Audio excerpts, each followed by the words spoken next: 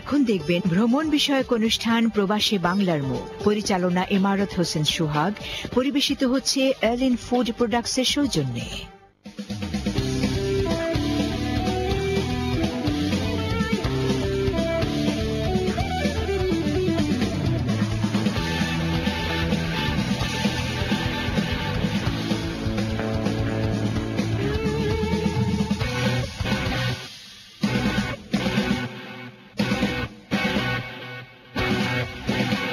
প্রবাসে বাংলার মুখ।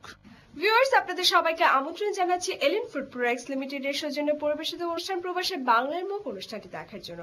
আপনারা জানেন, আমাদের এই অনুষ্ঠানটি প্রবাসীদেরকে নিয়ে একটি প্রামাণ্য অনুষ্ঠান, যেখানে আমরা তুলে আনি প্রবাসী জীবনের সুখ, দুঃখ, হাসি, কান্না, তাদের জীবনের নানান দিক। আজও তার ব্যতিক্রম হবে না। চলুন তাহলে দর্শক, আমরা আমাদের আজকের এপিসোডটি দেখে নিই। পুরনো লন্ডনের ঐতিহ্য যেমন টাওয়ার ব্রিজ তেমনি আধুনিক লন্ডনের আইকন লন্ডন আই বেড়াতে এসে লন্ডন আইতে চড়েনি এমন পর্যটক খুঁজে পাওয়া দায় লন্ডন আইতে না চড়া মনে করা হয় লন্ডনে ঘুরতে এসে পরিপূর্ণতায় পায় না। এই শহরে যে কয়টা গুরুত্বপূর্ণ এবং আকর্ষণীয় আধুনিক স্থাপত্য তৈরি হয়েছে, তার মধ্যে লন্ডন আই অন্যতম। বিস্তারিত ইঞ্জিনিয়ার সজিবুল আল রাজিবের প্রতিবেদনে। আমি এখন দাঁড়িয়ে আছি লন্ডন আই, এখানে। যেখান থেকে লন্ডনকে লন্ডনকে লন্ডন শহরটিকে মানুষ দেখতে পারে, হাজার হাজার এটি নির্মাণ করা ছিল এক ধরনের চ্যালেঞ্জ বিশাল আকৃতির এই চাকা বর্তমানে বিশ্বের সবচাইতে উঁচু observation wheel British design architecture ও ইঞ্জিনিয়ারিং এর এ এক অনন্য উদাহরণ। যাত্রী বহনকারী ক্যাপসুলগুলো নকশা করা হয়েছে সম্পূর্ণ নতুনভাবে, যাতে পর্যবেক্ষকরা অত্যন্ত সহজভাবে অনেক উঁচু থেকে লন্ডন শহরটিকে উপভোগ করতে পারেন। ক্যাপসুলগুলোকে চাকার বাইরের দিকে এমনভাবে স্থাপন করা হয়েছে যাতে চাকা ঘোরার সাথে সাথে যাত্রীদের চোখের সামনে কোনো প্রতিবন্ধকতা না আসে।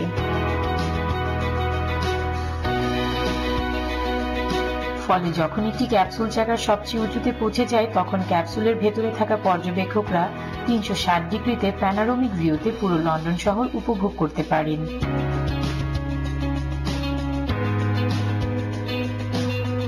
এক একটি ক্যাপসুলের ওজন দশ টন। এই বত্রিশটি ক্যাপসুল বৃহত্তর লন্ডনের বত্রিশটি উপশহর বা বরাহ এর প্রতিনিধিত্ব করে। প্রতিটি ক্যাপসুল শীতাতপ নিয়ন্ত্রিত এবং পর্যবেক্ষকদের বসার জন্য বেঞ্চ দেয়া আছে। একটি ক্যাপসুলে পঁচিশ জন পর্যন্ত আরোহণ করতে পারে। যে কোনো পর্যটকের কাছে এটা একটি বিস্ময় যে একশো পঁয়ত্রিশ মিটারের এই চারা চাকাটিতে ষোলোটি রিম রোটেশন ক্যাবেল আছে এবং চৌষট্টিটি স্পোক ক্যাবেল আছে, যে কারণে এটাকে বিশাল আকৃতির সাইকেলের চাকার মতো দেখায়। চাকাটির মধ্যে রয়েছে একটা শক্তিশালী স্পাইন্ডল যা চাকার চৌষট্টিটি স্পোককে একসাথে আটকে রেখেছে। এই স্পাইন্ডলটি ঘোরার ফলেই পুরো চাকাটি ঘুরে। এটি তৈরি হয়েছে ইস্পাত দিয়ে।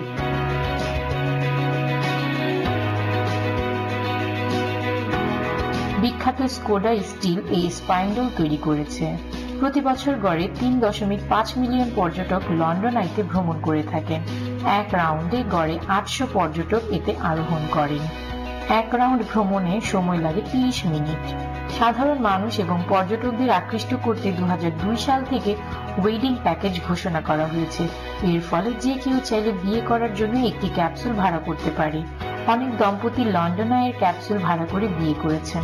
হলিউড ও বলিউডের অনেক সিনেমায় এই লন্ডন আইয়ের ব্যবহার হয়েছে। সারা পৃথিবীর থেকে অসংখ্য মানুষ প্রতি বছর লন্ডন বেড়াতে আসেন। বেড়াবার অনেক জায়গার মধ্যে অন্যতম এই লন্ডন আই আপনিও আমন্ত্রিত।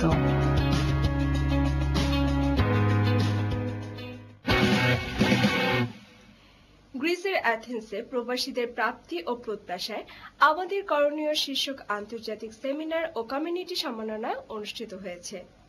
এতে প্রবাসীদের বিভিন্ন সমস্যা সমাধানের জন্য গ্রিসে নিযুক্ত বাংলাদেশের রাষ্ট্রদূত জসিমউদ্দিন এবং বহির্বিশ্বের সাংবাদিকতায় বিশেষ অবদানের জন্য মিলান বাংলা প্রেস ক্লাব ইতালির সভাপতি রিয়াজুল ইসলাম কাউসারকে সম্মাননা প্রদান করা হয়।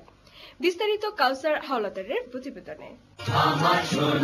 প্রবাসীদের প্রাপ্তি ও প্রত্যাশা আমাদের করণীয় শীর্ষক আন্তর্জাতিক সেমিনার ও কমিউনিটি সমমননা পুরস্কার দুই অনুষ্ঠিত হয়েছে গ্রীসের অ্যাথেন্সে। এতে প্রবাসীদের বিভিন্ন সমস্যা সমাধানের জন্য গ্রীসে নিযুক্ত বাংলাদেশের রাষ্ট্রদূত মোহাম্মদ জসিমউদ্দিন এনডিসি কে প্রবাস বন্ধু সমমননা প্রদান করা হয়। রাষ্ট্রদূত প্রধান অতিথির বক্তব্যে সবসময় প্রবাসীদের স্বার্থ রক্ষায় পাশে থাকার আশাবাদ ব্যক্ত করেন শুধুমাত্র নতুন প্রজন্মের শিক্ষা কেন্দ্র নতুন প্রজন্মের শিক্ষা কেন্দ্র তার সকাল থেকে শুরু করে ঘুমানোর আগ পর্যন্ত এবং সে চারপাশে যা দেখে তাই এবং তাদের অভিনন্দন জানাচ্ছি এই সেমিনারটা আয়োজন করার জন্য। সেমিনারের সভাপতির বক্তব্য রাখেন ইউরো বাংলা প্রেস ক্লাব সভাপতি ও Euro Bangla twenty four dot com গিরিশের সম্পাদক মন্ডলীর সভাপতি তাইজুল ইসলাম ফয়েজ। সবাইকে শুভেচ্ছা জানাচ্ছি। ইউরো বাংলা প্রেস ক্লাবের পক্ষ থেকে আমি সবার কাছে দুঃখ প্রকাশ করছি। আজকে সেমিনারে কোনো ধরনের বহির্বিশ্বে সাংবাদিকতায় বিশেষ অবদানের জন্য মিলান বাংলা প্রেস ক্লাব ইটালির সভাপতি রিয়াজুল ইসলাম কাউসারকে সমমননা পুরস্কার প্রদান সহ বিভিন্ন ক্যাটাগরিতে অন্যান্যের মধ্যে দূতাবাসের প্রথম সচিব, লেখক সুজন দেবনাথ, কাউন্সিলর মোহাম্মদ খালেদ ডক্টর সৈয়দা ফারহানান নুর চৌধুরী এবং শিল্পী এম আলী চৌধুরীকে সমমননা পুরস্কার রাষ্ট্রদূত হাতে তুলে দেন। এছাড়া কুইজ প্রতিযোগিতায় অংশগ্রহণকারী ছাত্রছাত্রীদের মধ্যে পুরস্কার ও সনদ বিতরণ করা হয়। এতে Euro Bangla press club, senior সহ সভাপতি শিল্পী এম আলী চৌধুরীর ইংরেজি গানের মিউজিক ভিডিও এর ওয়ার্ল্ড প্রিমিয়ার অনুষ্ঠিত হয়েছে। গ্রিসের রাজধানী অ্যাথেন্সের ত্রিয়া নন মুভি থিয়েটারে সেমিনারের শুরুতেই পবিত্র কোরআন থেকে তেলোয়াত ও গীতা থেকে পাঠ করা হয়। সেমিনারের মূল প্রবন্ধ উপস্থাপন করেন গ্রিস দূতাবাসের প্রথম সচিব, লেখক সুজন দেবনাথ। যারা পরের দেশে থাকে তারাই হচ্ছে প্রবাসী এ আয়োজনকে স্বাগত জানান প্রবাসীরা। আজকের যে অনুষ্ঠানটা আয়োজন করেছেন যারা এই অনুষ্ঠানের উদ্যোক্তা তাদেরকে অনেক ধন্যবাদ জানাই। এ থেকে আমরা অনেক কিছুই প্রবাসীদের সমস্যা সম্পর্কে জানতে পারলাম। তাদের সমাধান আমাদের মাননীয় রাষ্ট্রপতি বলে গিয়েছেন। এই প্রোগ্রামের মাধ্যমে নতুন প্রজন্ম বিষয়গুলো জানতে পারবে এটাই আমাদের প্রত্যাশা। এই আয়োজনে অংশ নিয়ে শিশুরা হয়েছে আনন্দিত। অনেক ভালো লাগছে। দোয়া করি জানি আমরা আবারও এমন আরেকটা অনুষ্ঠান পাই। এতে ভিডিও বার্তায় বিশেষ অতিথির বক্তব্য রাখেন councillor Mohammad Khaled, doctor Syeda Farhana Nur Chowdhury, Bangladesh community in Greece সভাপতি Haji Mohammad Abdul Kuddus, Euro Bangla press club উপদেষ্টা Arifur Rahman Arif, Milan Bangla press club সভাপতি রিয়াজুল ইসলাম কাউসার সহ গিরিশ আওয়ামী লীগ ও বিএনপি এবং ইউরোপের বিভিন্ন দেশের সাংবাদিক ও প্রবাসী নেতৃবৃন্দ। বক্তারা প্রবাসীদের বড়দেহ বিনামূল্যে দেশে প্রেরণ প্রবাসীদের পেনশন প্রদান, ডিজিটাল পাসপোর্ট সমস্যা সহ বিভিন্ন দাবি সেমিনারে উপস্থাপন করেন। বক্তারা প্রবাসীদের উন্নয়নে একসাথে কাজ করার প্রত্যয় ব্যক্ত করেন। শেষে স্থানীয় প্রবাসী শিশু কিশোরদের পরিবেশনায় বাংলাদেশের জমকালো সাংস্কৃতিক অনুষ্ঠান পরিবেশিত হয়। সেমিনারে যৌথভাবে মিডিয়া পার্টনার ছিল ETV Bangla TV, ATN Bangla, Joyjatra television, TV on news এবং শিকড় টিভি। আন্তর্জাতিক সেমিনারের মধ্য দিয়ে প্রবাসীদের প্রত্যাশা প্রাপ্তিতে রূপ লাভ করবে এমনটি প্রত্যাশা সবার। Kawsar Haldar ATN Bangla, Athens Greece. দর্শক, আপনারা দেখছিলেন এলিন ফ্রুট প্রোডাক্টস লিমিটেড এর সৌজন্যে পরিবেশিত অনুষ্ঠান প্রবাসে বাংলার মুখ অনুষ্ঠানটি। অনুষ্ঠানে এ পর্যায়ে নিয়ে নিচ্ছে ছোট্ট একটি বিরতি। কোথাও যাবেন না, এটিএন বাংলার সাথেই থাকুন। বিশ্বে প্রবাসী আয়ের দিক থেকে বাংলাদেশের অবস্থান নবম। বাংলাদেশ পৃথিবীর পঞ্চম বৃহত্তম দেশ। যে দেশে রয়েছে এত বিপুল সংখ্যক প্রবাসী। বিদেশে অবস্থানরত বাংলাদেশিদের অভিজ্ঞতা ও কর্মক্ষমতাকে কাজে লাগানোর জন্য একটি ডাটাবেস করার পরিকল্পনা নিয়েছেন সরকার। এনআরবি ডে উদযাপন অনুষ্ঠানে এসব কথা জানিয়েছেন পররাষ্ট্রমন্ত্রী A K Abdul Momen. Fairdeal properties limited এর অন্যতম প্রকল্প পূর্বাচল এনআরবি হোমসের পৃষ্ঠপোষকতায় আঠাশ ফেব্রুয়ারি দ্বিতীয় এনআরবি দিবস পালিত হল হোটেল ইন্টারকন্টিনেন্টাল ঢাকায়। উক্ত অনুষ্ঠানে প্রধান অতিথি হিসেবে উপস্থিত ছিলেন গণপ্রজাতন্ত্রী বাংলাদেশ সরকারের মাননীয় পররাষ্ট্রমন্ত্রী জনাব ডক্টর মোহাম্মদ আব্দুল মোমেন। বিশেষ অতিথি হিসেবে উপস্থিত ছিলেন গণপ্রজাতন্ত্রী বাংলাদেশ সরকারের মাননীয় প্রবাসী কল্যাণ প্রতিমন্ত্রী জনাব ইমরান আহমদ। পূর্বাচল এনআরবি হোমসের পক্ষ থেকে মাননীয় পররাষ্ট্রমন্ত্রী ও মাননীয় প্রবাসী কল্যাণ মন্ত্রীকে ফুলেল শুভেচ্ছা জানান কোম্পানির ব্যবস্থাপনা পরিচালক মোহাম্মদ মুখলেসুর রহমান। বিদেশিদেরকে কীভাবে দেশে, দেশের ছেলে দেশে ফেরত আনা যায়? আমরা বিভিন্ন বিশ্বে ঘুরে দেখেছি। ওখানে একটা ন্যূনতম স্ট্যান্ডার্ডে আমাদের দেশের লোকজনরা ওখানে থাকে, বসবাস করে। ওনাদের পরবর্তী প্রজন্ম, প্রজন্মরা বাচ্চা কাচ্চারা ওখানে ওইভাবে ওই পরিবেশে থাকে।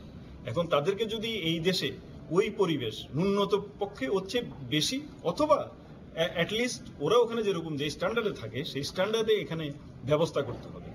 সেটাই লক্ষ্য রেখে আমরা পূর্বাচল এনআরবি হোমস আমরা তৈরি করি এবং সেটা সেভাবেই ডেভেলপ হচ্ছে।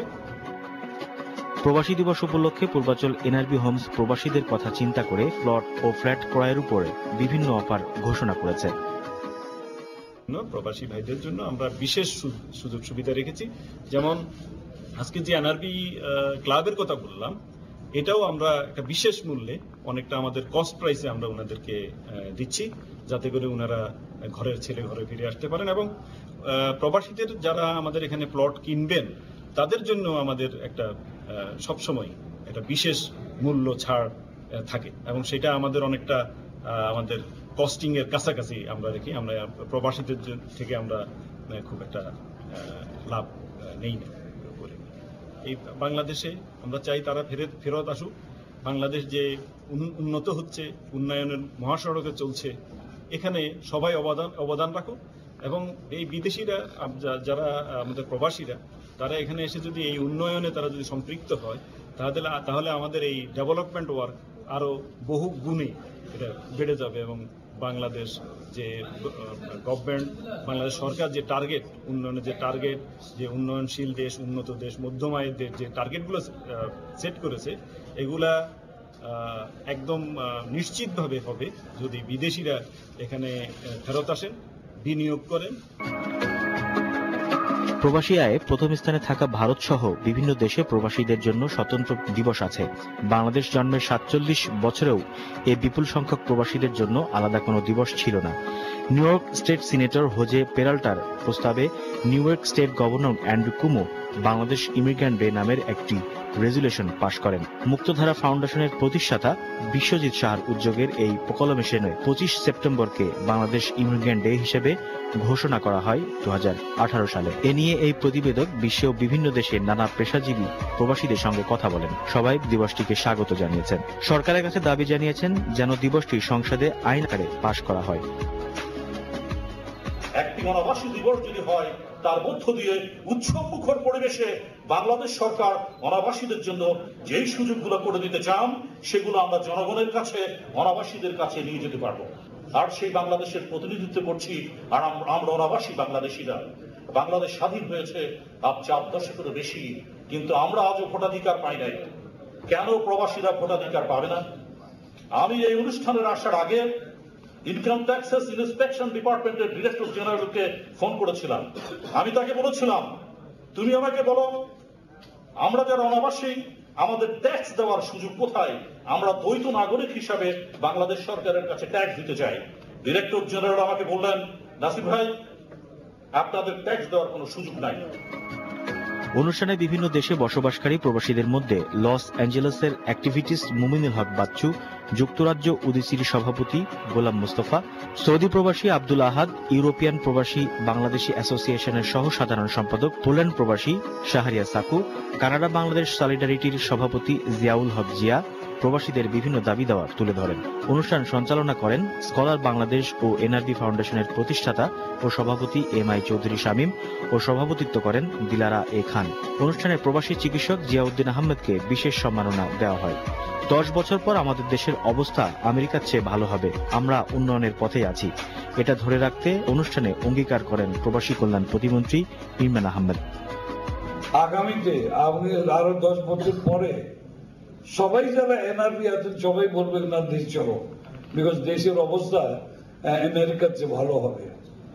বা অন্যান্য কোনো জায়গা থেকে ভালো হবে। আমরা কিন্তু কারেক্ট পাতে আছি।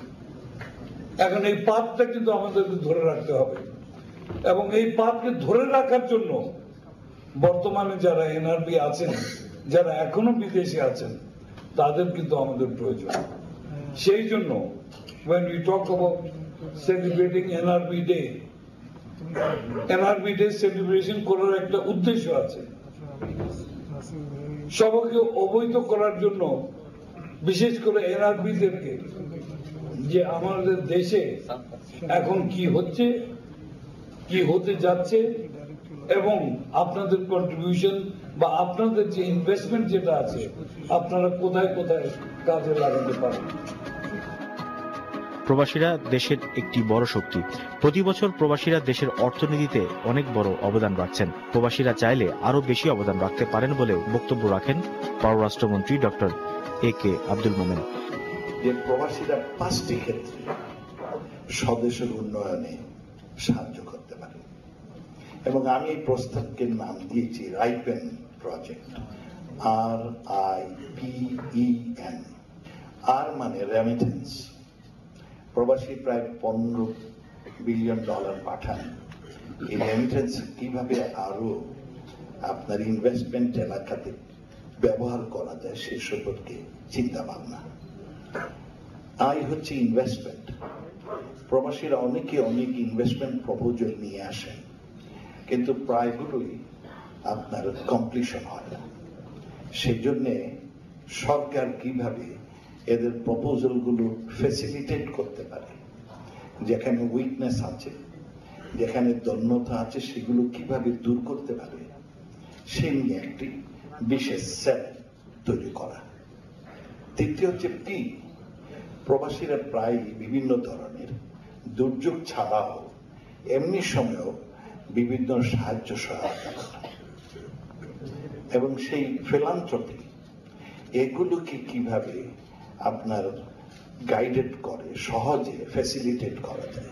সেই জন্য আমরা একটা ফিলান্থ্রপি সেল আরেকটি হচ্ছে ই এটা হচ্ছে change of experience and expertise অনেক প্রবাসীরা ভালো ভালো চাকরি করেন অনেক ক্ষেত্রে যথেষ্ট অভিজ্ঞতা অর্জন করেছেন।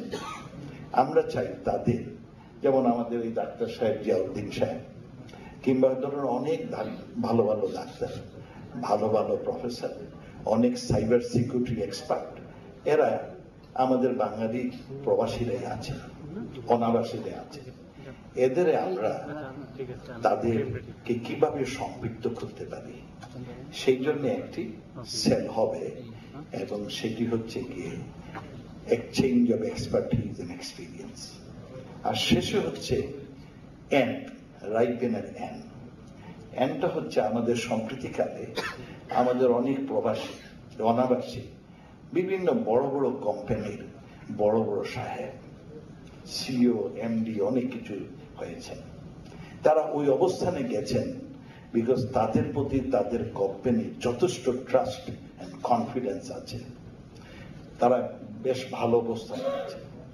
আমরা আমাদের দেশে ইনভেস্টমেন্ট বাড়াতে এবং এই যে বড় বড় চাকরি করেন যারা, তারা যদি তাদের কোম্পানিকে বলেন, বাংলাদেশ এ ভাইব্রেন্ট ইকোনমি সেখানে ইনভেস্ট করলে it would be a win win situation তাহলে তার কোম্পানি আমরা দশ দিন তিনজন মন্ত্রীকে যা বলব, তাদের একজনের কথাটাকে তারা আরও বেশি গ্রহণ করবে।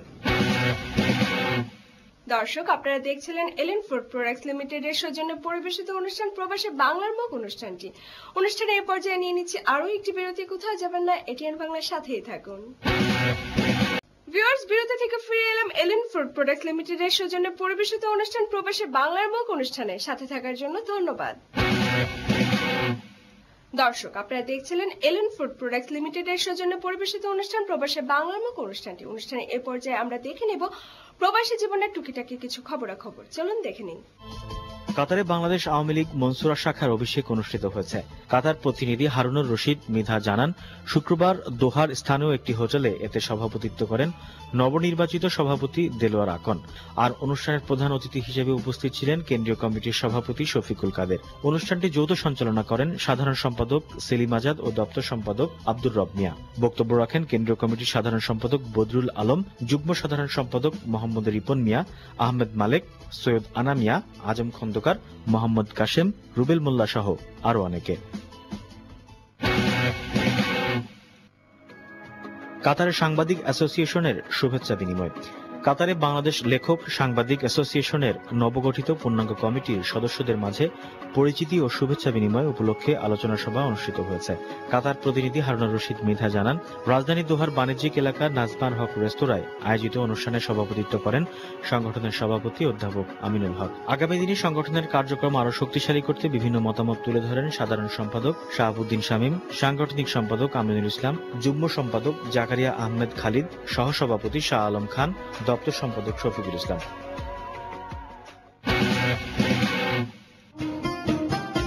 অত্যন্ত আনন্দমুখর পরিবেশে Bangladesh international school and college Jeddah জাতীয় কারিকুলামের বার্ষিক বনভোজন দু অনুষ্ঠিত হয়েছে। শুক্রবার Bangladesh international school and college Jeddah জাতীয় কারিকুলামের বার্ষিক বনভোজন অনুষ্ঠিত হয়।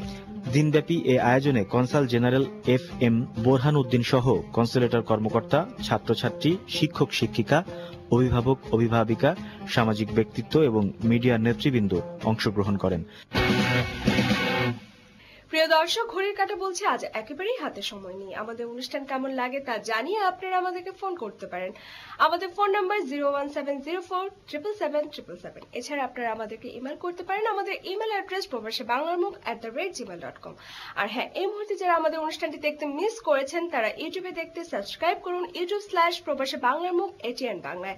আজকের মতো আমি আইনি খান বিদায় নিচ্ছি। দেখা হবে আগামী সপ্তাহে এটিএন বাংলার পর্দায়। সেই পর্যন্ত আপনারা সবাই ভালো থাকুন, সুস্থ থাকুন। আল্লাহ হাফেজ।